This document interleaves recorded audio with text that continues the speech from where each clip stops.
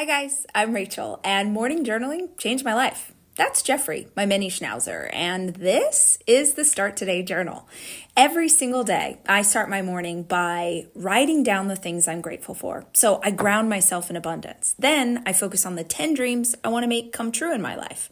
From those 10 dreams, I choose the one I'm going to focus in on to work on next.